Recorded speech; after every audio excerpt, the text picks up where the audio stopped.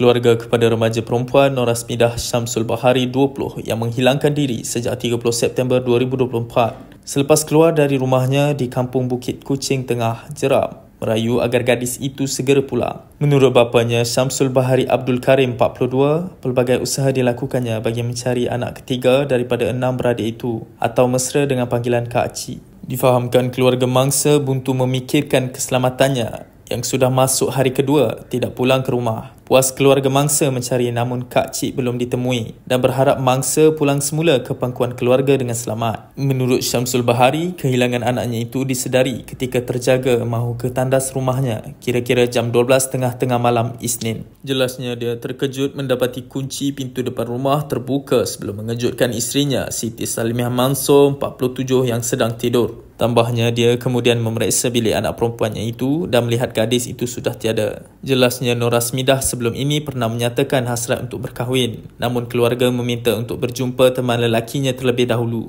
Sementara itu, Ketua Polis Daerah Kuala Selangor, Superintendent Azharuddin Tajuddin mengesahkan kejadian dan pihaknya masih menjalankan siasatan berhubung kehilangan wanita berkenaan. Sentiasa berhati-hati dan berwaspada walaupun di mana jua anda berada bagi mengelakkan sebarang kejadian berbahaya. Apapun diharapkan kejadian ini dapat dijadikan iktibar buat seluruh masyarakat.